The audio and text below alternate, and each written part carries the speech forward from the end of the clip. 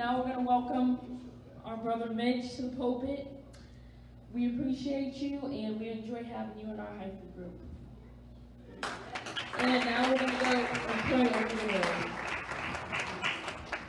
Heavenly Father, we exalt you and thank you for loving us and mercy. And God, we pray today that you would, would reach down and touch our hearts. God, let your word speak into our lives, Master. We pray an anointing upon our ears and our hearts to receive, God, what you desire for us to know. God, that it would be planted in our hearts, that your word, God, would, would be planted deep in our hearts and grow, Master, into, into what you desire it to be. We pray in the name of Jesus. Amen. Hallelujah.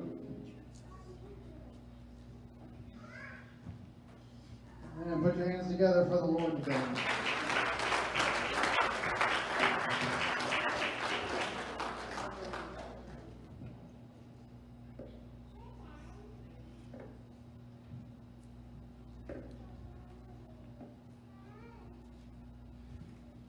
I'd like to give to Caleb and Hannah, our hyphen leaders, giving me the opportunity to speak today. I'd like to give honor to Pastor as well and Bishop, great men of God, that led me to walk this life and have allowed me to be in this position today. So I appreciate you people. I know we prayed a lot, but I just want us to pray again. Uh, I just want us to pray that we can let anything that is keeping us from getting in the presence of God to get to for us to repent so that we can walk in his light today and that we can receive the message that he has for us today. But Paul said that he had to die daily. So what I want us to do is to lift up our voice and for us to repent today so that we can receive what he has for us. Lord God, I pray that you come into this place today, hallelujah. I pray that you lift up this church in this in this message, Lord. Anoint my body from the top of my head to the sole of my feet, that I may be able to preach the word unto these people today, Lord. Anoint us and anoint this message, Lord. Bless this body that has come to hear my voice today, and lift us up in your word and in your presence. In the name of Jesus, amen. You may be seated.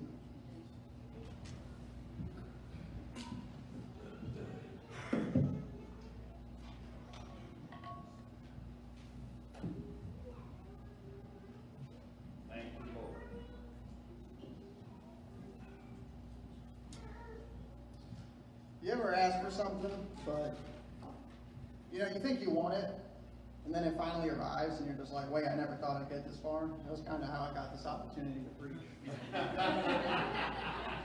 Caleb texted me, he's like, hey, you want to preach a five, seven minute message? I said, well, some of my topics that I have in mind, they're a little longer than that. He said, okay, my brother's coming to preach. He'll be there, but you'll just be the backup preacher in case something bad happens. I was like, deal. Kid you not, an hour later, he texted me, yeah, my brother's not coming, you got the full thing. I was like, whoa, okay. I was struggling to find a topic. I actually have a list of topics on my phone. Things that would just come to me at certain times, I'd write them down. And over the past year, I've probably collected 10 or 15 topics, added scriptures into them and things like that. So I figured, you know, why don't I pop, pop that list out, look through it, see what I got. Well, uh, you know, sometimes God doesn't speak to you, but you just have a feeling whenever you're going through a situation. I looked through that list, and I just couldn't find anything that I liked. And so I went to the I went to the Word of the Lord, of course, read a lot of Old Testament, some New Testament, and I couldn't find anything either. So I went back to the list, and I found that I had missed a little four-word phrase that I had written in there. And see, all my topics had scriptures; they were developed, but this wasn't developed. It was just a four-letter phrase that I had missed when I was scrolling through. You know, God's got a sense of humor. Of course, He's going to have me pick the one that doesn't have any development, it doesn't have anything to go off of. But I believe He's got something powerful in store for us today. Amen. Uh, so I'd like to bring your attention to Psalms 27, verse 1. I may come back to the rest of the chapter, but for now, we'll just focus on verse 1. So David wrote, The Lord is my light and my salvation. Whom shall I fear? The Lord is the strength of my life. Of whom shall I be afraid? Man. And so I have simply titled my message today, Whom Shall I Fear? Right. right. Turn to your neighbor and say, Fear. Fear.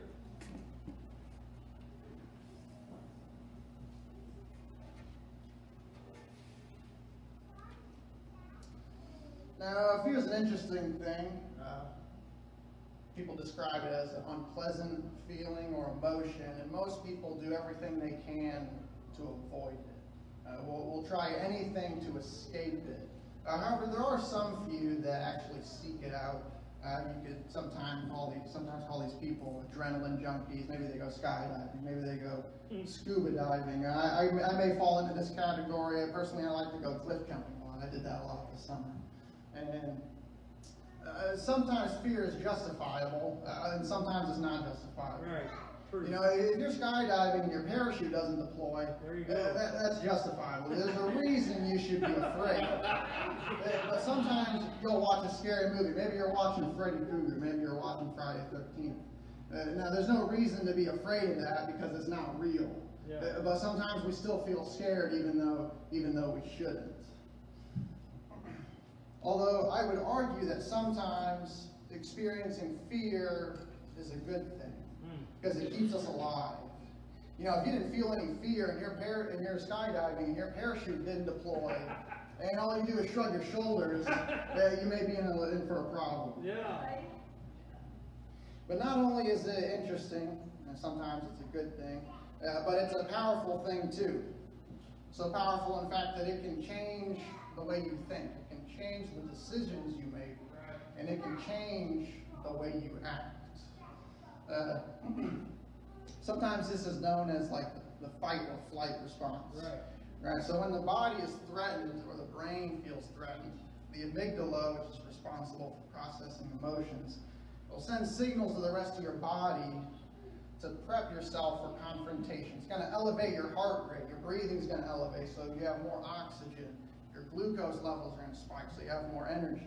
Uh, sometimes people will even say they have super strength and agility when they have the fight or flight response. I remember I read a book about a boy soldier from Africa who was recruited at the age of 10 when his village was raided. And he said that the first time his village got attacked, he had never run so far and so fast in his life. Mm. And that wasn't because he was a good athlete. It wasn't because he had some superhuman lungs, but it was because he was under attack and he had that fight or flight response. So what it does is it prepares you for confrontation. Now sometimes we're going to find ourselves in these positions. We're going to find ourselves in these positions where we feel that fight or flight response. And sometimes we're going to feel fearful. We're going to feel helpless or hopeless. However,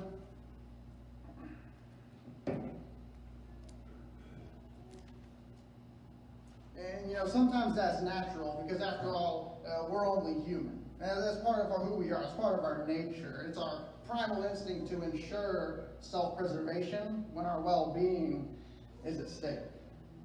But what I want you to know is that there is a difference between living in fear and experiencing fear. Right.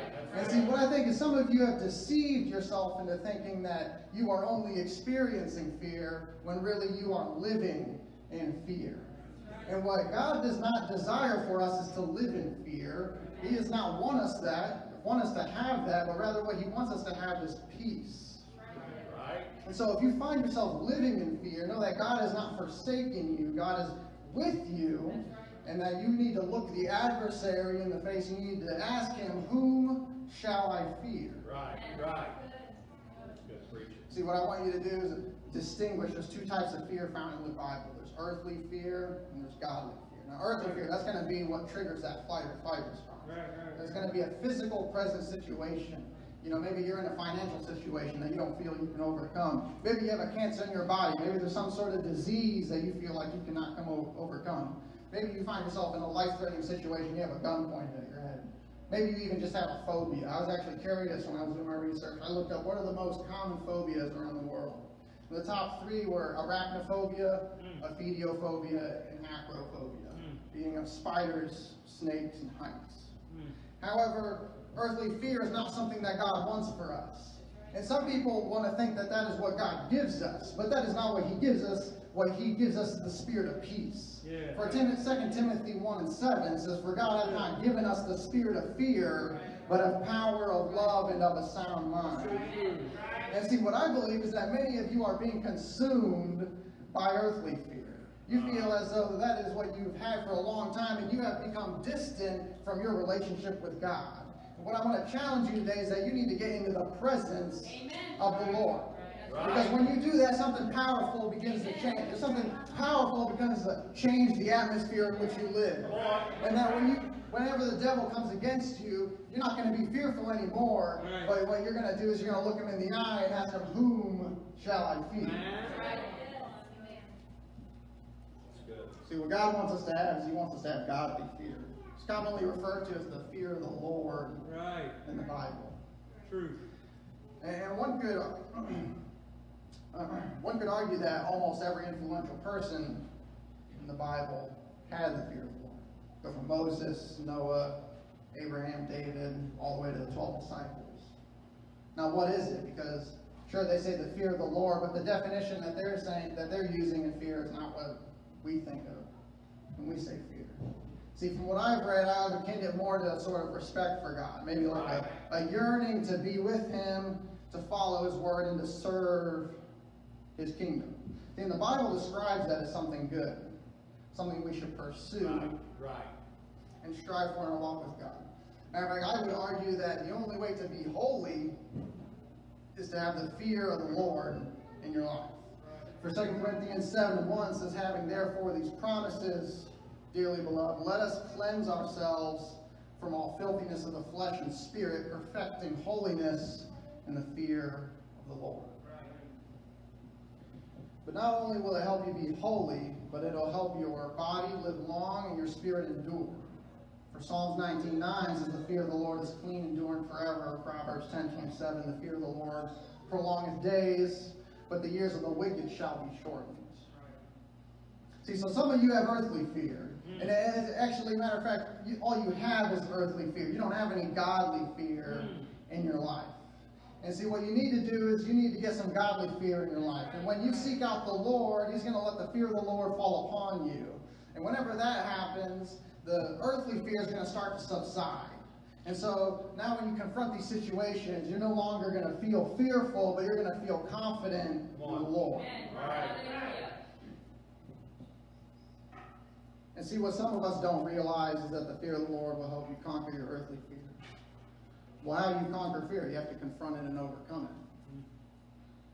You know, if you go into a psychologist with a phobia, they're not going to let you sit and cower in the corner. They're going to make you confront that fear. They're going to expose it to you. Hmm. Say you have a fear of needles. What they're going to do is they're going to sit you down. Maybe they're going to put you next to a table. And they'll just put that needle, let's say you're afraid of needles, they're going to put that needle on the table. Mm-hmm. Maybe you're gonna get scared. Maybe your heart rate's gonna go up. Maybe maybe you're gonna get anxious. But eventually it's gonna subside. and You're gonna realize that the situation you're in really isn't that bad. Maybe the next day they come in, they're gonna take the cap off the needle. They're gonna put it on the table. Maybe you're gonna get scared a little more because that's changing from what yesterday was. See what they're doing is they're breaking it down into smaller chunks so you can slowly progress up until you take shot. And see, what they're exposing you to and what they're showing you is that the thing that you feared is actually not as powerful as you thought it was. Does somebody see what I'm trying to say here? The, the adversary that is knocking on your door is not as powerful as you think he is. And so, what they're going to do, you know, you're going you're gonna show up, you're going to show up as a psychologist, you're going to be hunched over, you're going to be walking in with your head looking down, and when you walk out of there, you're going to be, you're going to be having a, a straight back, you're going to be looking up high.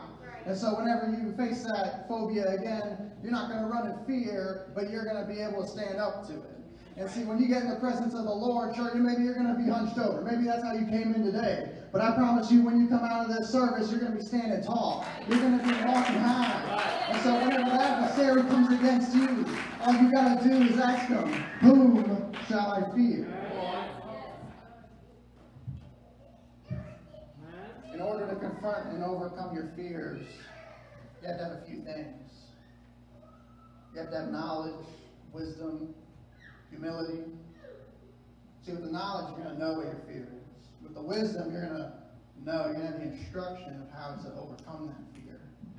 And with the humility, you're going to be able to admit that you're afraid. And I think it's interesting that the fear of the Lord gives you all these things. Proverbs 1 and 7, 1 and 7 says, The fear of the Lord is the beginning of knowledge.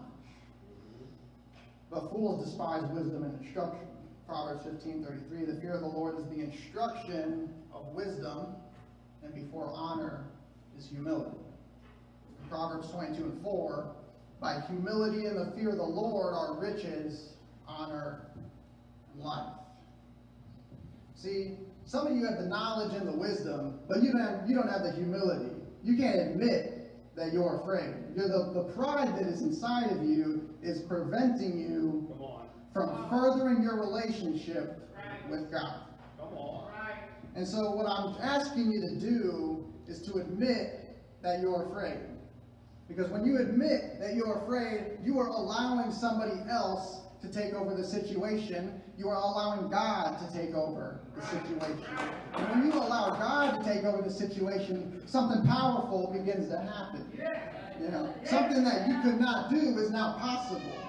Something that was not able to be done in a human nature is now to be done in a supernatural nature.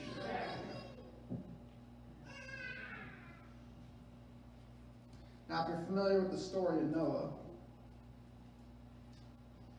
after Adam and Eve had populated the world, God looked upon the earth and he found that all of man had evil and wickedness in their hearts. Matter of fact, the only person who found grace in the sight of the Lord was Noah. It's actually never stated that Noah's family found grace in the sight of the Lord. Now, this is just a personal belief of mine. It was my belief that on the behalf of Noah, God saved his family. Much like how Abraham pleaded with God for Sodom and Gomorrah. He was able to essentially bargain with God down to 10 righteous people. He will save two cities of people. Some of you are having somebody plead on your behalf, Right. That's the truth. but you're not walking the path that you need to be walking. Mm-hmm. But that can only go on for so long. That- that- that's not an infinite thing. And so what you have to do is you have to pursue your own relationship. You have to, you have to pursue your own walk. Now after God found that Noah was good, commanded him to build the ark, him and his family embarked along with two of every beast, every cattle, everything that creepeth upon the earth. And the waters began to rise. And it rained 40 days, 40 nights. And everything on the earth was killed. See, now he was on the boat for just a little while. Matter of fact, he was on the boat for a little over a year. And now, when I was reading this, I couldn't help but think that although it isn't stated, Noah may have had a little earthly fear in his situation. You know, because just think about, he, he's stuck where he is. And when he looks out, it's just an ocean of darkness. There's nothing he can see. You know, and he's surrounded by the adversary almost, you could say. and he was in the storm, and I feel as though many of you are in the same position. Uh, you feel as though you cannot move just like Noah couldn't move. And when you look around, all you see is an ocean of fear. All you see is darkness because you have been living in fear for so long. And although you may feel as though you're surrounded, uh, you cannot move, uh, God is with you. And so what he's going to enable you to do is he's going to enable you to change your circumstances, right? You see, because some of you feel as though everywhere you go, you are getting backed up against the wall and you don't have anywhere to run. Everywhere you go, a door is getting shut in your face. The adversary has come to you and he has cut you off by the knees and you cannot escape. And see, what the Lord comes in is he shows you that there is a way out. Yep. And that if you follow him, he can bring you to salvation.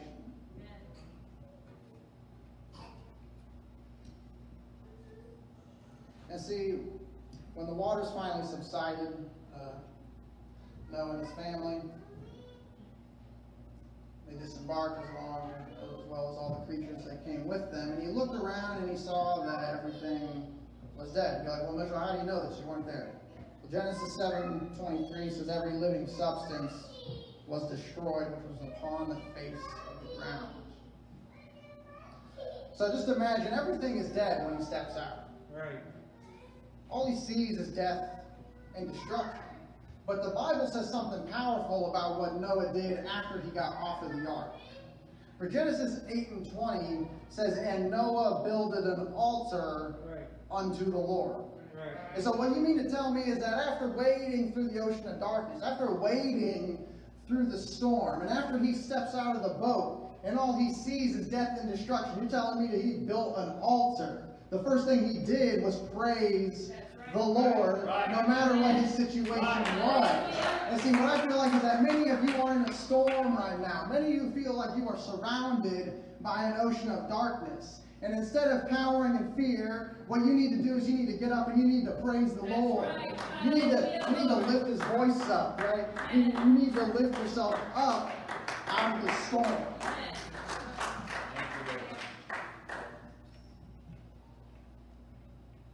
See, because this will allow you to overcome the situation you are in.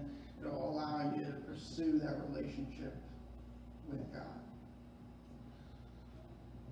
Because when you're in the middle of a storm and you're cowering in fear, you decide to worship, something powerful begins to happen inside you. Something changes in your spirit.